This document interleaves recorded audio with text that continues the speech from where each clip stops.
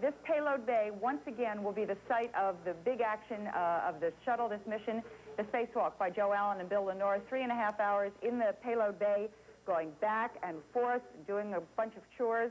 Uh, those are some of the things that make this mission very different. When the first shuttle is deployed this afternoon, part of what's going to be happening is that the shuttle will be starting to pay for itself. Not quite on this mission. NASA taking in only something like $17 million. That's just a very tiny dent in the $250 million they say that STS-5 is costing. But, um, and, General Abrahamson, incidentally, has mentioned that they are in the loss leader part of the program. The idea, of course, is that ultimately the shuttle will be able to cover its expenses, maybe make a little bit of a profit as it's launching satellites. This mission is also a bargain for Telesat of Canada and for the satellite business services, the people who are putting up those birds. Uh, they've got the uh, rates that will go up at more than double within a couple of years. So everybody seems to be doing pretty well, assuming everything gets launched okay. Again, uh, we will see the first satellite being deployed sometime later this afternoon if all goes well. We do not expect to have live television coverage of that, but they will be taking pictures of it when they do it, and then those pictures will get transmitted back down here to Earth when they pass over a station where they can do that. Uh, and so we will, we will actually see it go up, and we will see the shuttle go into business, and we'll be here to show you all of that. Frank? Thank you, Lynn. Thank you very much. Well, we are 12 minutes and 30 seconds into the mission.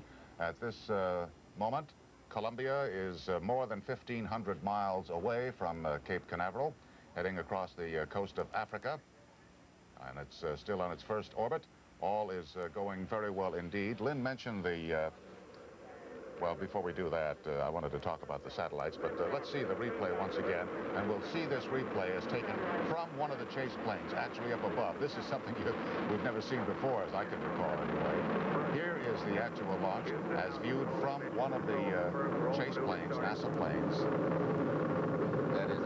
spectacular uh, ringside seat. I don't think I've ever seen this before. No, I noticed a blimp was in the area, the Goodyear blimp, and it may, it may have been near this, this launch today. I don't think I'd want to be in a blimp where that uh, shock wave goes reverberating across the swamps here. It was a magnificent. The visibility today was unbelievable. I believe we could see that uh, vehicle as far as 300 miles away. Okay, let's see it from another angle now. Here we are right down at ground level. Watch the ignition of the powerful engines. You really get a feel for the surge. Yes, it just kind of disappears there in a cloud of steam, and already it's moving. Watch it come up out of that cloud now. There it goes. And that just wall of flame stretching almost all the way down to the ground.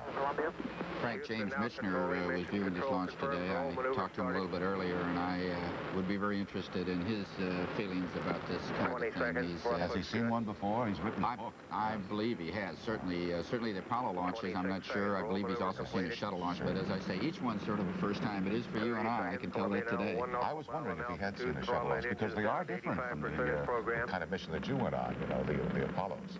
The Apollo looked like it had every right to go up. It looked like a rocket, you know.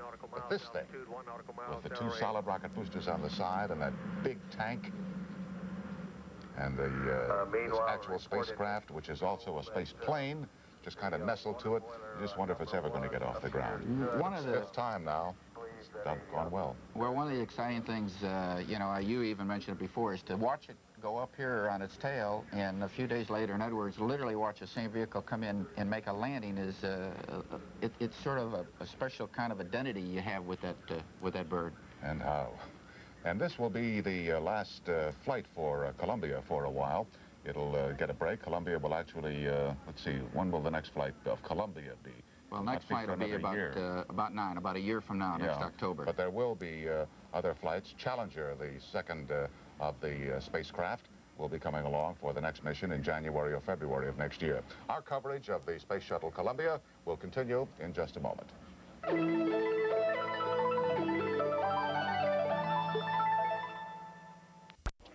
Uh, no, there is not a military payload aboard this time at all. Uh, they will fly about one-third of the time with us, but this is not one of those times. So the, the first satellite will be deployed some eight hours in, in the mission. Uh, what takes place between that period of time after the first satellite is deployed and the second satellite is deployed? There's about 24 hours between, and of course, eight hours of that time will be a sleep period. The rest of the time, the crew will be checking out the orbiter, making sure it's in good condition, and uh, getting ready to deploy that second satellite. That takes several hours, and so you're talking about most of the day right there.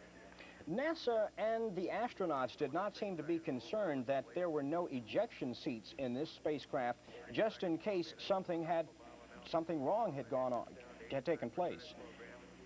Well, that's right. Uh, and of course, the reason is that we have full confidence in the orbiter. But uh, if you look at it in another way, there is only room for two ejection seats, and with four people aboard, it would be considered rather unsporting for two of them to step overboard. Yes, it would be. Thank you very much, Mr. Robb. Uh, that is Rocky Robb giving us the updated information from the Kennedy Space Center. Here we see the uh, actual tracking map.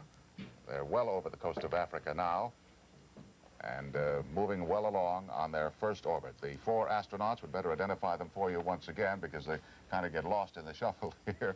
Vance Brand, the commander, and Colonel Robert Overmyer is the pilot. Dr. Joseph Allen, a physicist, one of the mission specialists, is on board, and Dr. Bill Lenoir, who uh, is a specialist in electrical engineering.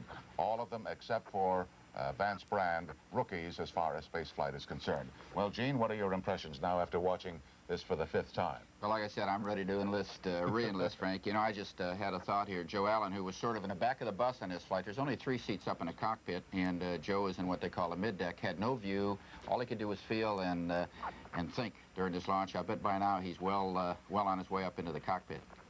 Okay, thank you very much, Gene. It's, as always, it's been a pleasure working with you.